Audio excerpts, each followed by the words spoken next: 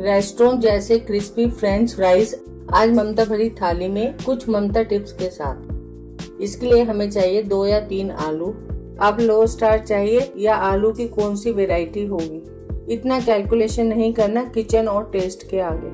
Crispy बनेंगे, बस मेरी वीडियोस और चैनल को फॉलो करें। यहाँ मैंने चॉपिंग बोर्ड लिया है। अब हम जल्दी से इसके स्लाइसिस बना लेंगे। स्लाइसेस मुझे पतले पतले पसंद है। ये आप पर डिपेंड करता है। आप थिक भी रख सकते हैं राउंड भी बना सकते हैं। घर में ही खाने हैं, बस खाना टेस्टी और हाइजीनिक बनना चाहिए। ये स्लाइसेस कट के रेडी हैं। बॉल में 10-15 मिनट के लिए डाल दें। बॉल में नॉर्मल या ठंडा पानी कुछ भी ले सकते हैं। अब समय है ममता टिप का। इससे आलू का एक्स्ट्रा स्टार्च निकल जाएगा। लेमन की कुछ बूंदे आप पानी में डाल सकते हैं। आलू को दो या तीन पानी में अच्छे से धोएँ। एक पैन में आप पानी लें और गर्म करने के लिए बर्नर पर हाई फ्लेम पर रख दें और अब इन आलू को तीन से पाँच मिनट तक गैस पर पकने दें। ऊपर से जाएगा अब आधा चम्मच नमक।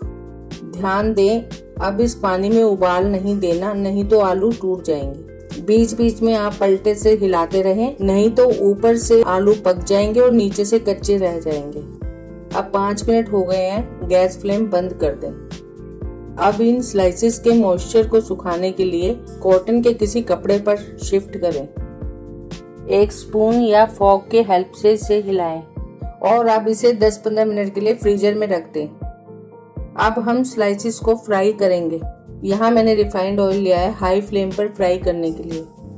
फ्रेंच फ्राइज को दो बार फ्राई किया जाता है। पहले हाई फ्लेम पर एक मिनट के लिए और फिर लो फ्लेम पर जब तक गोल्डन ब्राउन नहीं हो जाते। अब टाइमर लगाकर एक मिनट में आलू फ्राइज को ऑयल से निकालें और 10-15 मिनट ओपन में रख दें। इस स्टेज पर आप फ्रेंच फ्राइज बच्चों के लिए स्टोर करके रख सकते हैं।